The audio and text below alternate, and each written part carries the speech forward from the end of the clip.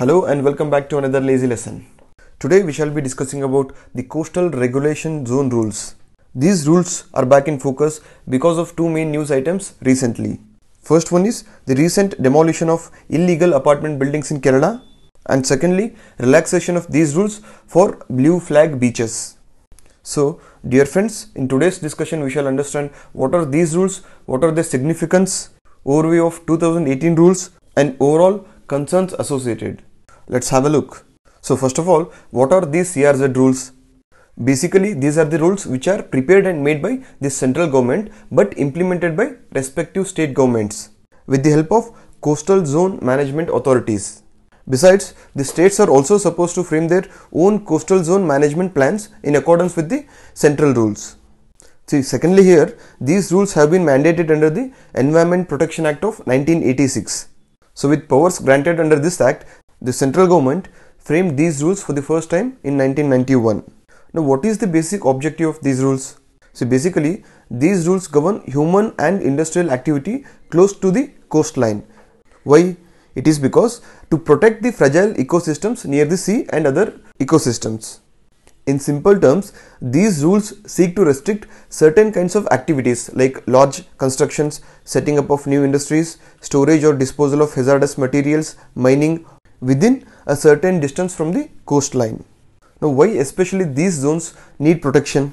Here, the basic understanding is that areas immediately next to the sea are extremely delicate and home to many marine and aquatic life forms. Hence, they need to be protected against unregulated development.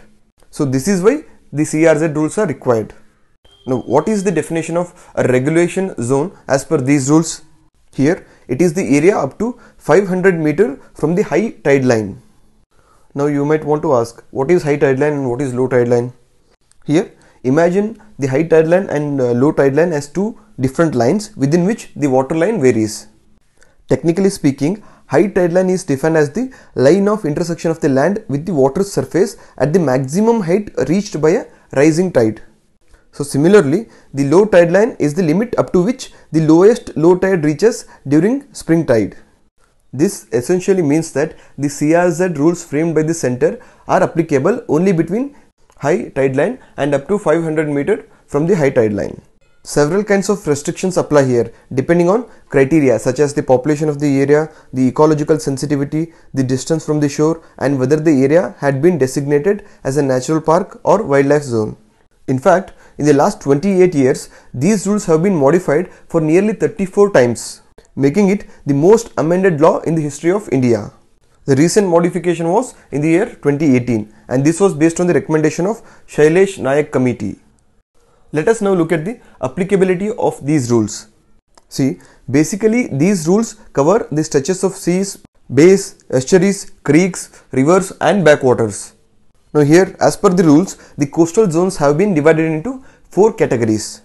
They are CRZ 1, 2, 3 and 4 respectively.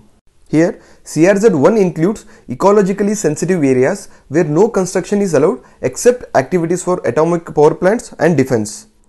This includes ecologically sensitive areas like mangroves, coral reefs, biosphere reserves, etc. Next, this second category includes designated urban areas that are substantially built up. Here, construction activities are allowed only on the landward side.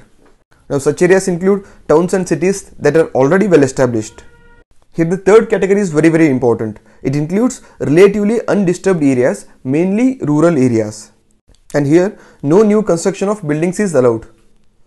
The only exception is that here construction of dwelling units between 200 to 500 meter are allowed. And similarly, category 4 includes the water area covered between low tide line and 12 nautical miles seaward. Here, except for fishing and related activities, all actions affecting on the sea and tidal water will be regulated. Please note here that a separate draft island protection zone notification has been issued for the protection of the islands of Andaman and Nicobar and Lakshadweep under Environment Protection Act 1986. And as per the modifications made in 2019, the third category coastal zone has been divided into two subcategories that is CRZ 3A and 3B. Here, the A category areas are densely populated areas with a population density of 2161 per square kilometer. and this is as per the 2011 census. And such areas shall have a no development zone of 50 meters from the high tide line. This was 200 meter as per the 2011 CRZ rules. And the second category that is CRZ 3B includes rural areas with a population density of below 2161 per square kilometers. And such areas have a no development zone of 200 meters from the high tide line. Along with this, the 2019 rules have also brought some other significant changes. Let us have a look. Firstly, these modifications allow some tourism infrastructure to be built in coastal areas. These include temporary tourism facilities such as shacks, toilet blocks, change rooms, drinking water facilities, etc. in beaches. Next, the procedure for the CRZ clearances has also been streamlined. As per the earlier rules, that is 2011 rules, projects located in all these zones, that is zone 1, 2, 3, 4, required the clearance certificate from the Ministry of Environment. But now only the projects located within the areas CRZ 1 and 4 need to take the permission of the Ministry of Environment. And the power for clearances with respect to CRZ 2 and 3 have been delegated at the state level.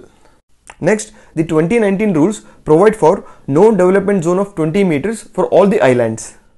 And this was necessary in the wake of space limitations and unique geography of such regions. And next, to address pollution in coastal areas, these rules provide for the treatment facilities. And these treatment facilities will be located in CRZ1 areas. And these rules classify few sensitive areas as critically vulnerable coastal areas and such areas shall be managed with the involvement of coastal communities including fisher folk. Such regions include Gulf of Khambhat, Gulf of Kutch, Karwar, Kundapur, Vembanad, Gulf of Mannar among others. And most importantly, floor space index norms have been eased as per the CRZ 2011 rules. Here as per these 2011 rules, the floor space index had been frozen but as per the latest notification, the government has decided to defreeze this floor space index. Let us understand here more about the floor space index. See, it is also known as floor area ratio. It is the maximum area that can be constructed on a plot of land.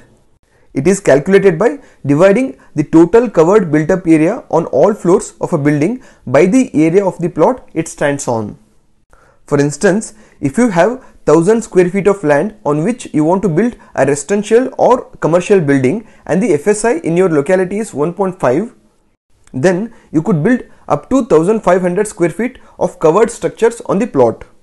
Effectively, you can build apartments comprising one or two floors or a single dwelling unit on the plot but not beyond 1500 square feet. Here the constructed area shall also include staircases and other basic structures. So in total, it cannot exceed 1500 square feet. Now why do you think we need such rules? See basically here a coastal zone is a transition area between marine and territorial zones. This includes shore ecosystems, wetland ecosystems, mangroves, mudflat, seagrass, salt marsh and seaweed ecosystems. And due to continuous onslaught on the coastal areas, the extent of mangroves, coral reefs and fish breeding have been heavily affected and this has in turn affected the livelihood of nearly 200 million people. Hence, these rules are necessary to protect such kind of ecosystems. So, the main aim here is to ensure livelihood security of the fishing communities as well as other local communities who inhabit these areas. And not just that, these rules also conserve and protect coastal areas and promote development in a sustainable manner. However, even these rules are not free from criticisms. Various environment activists say that the notification has simplified procedures for environmental clearances and this will open up the sensitive areas to real estate agents further degrading the coasts. And they also say that the notification has failed to address few of the concerns raised by the fishermen.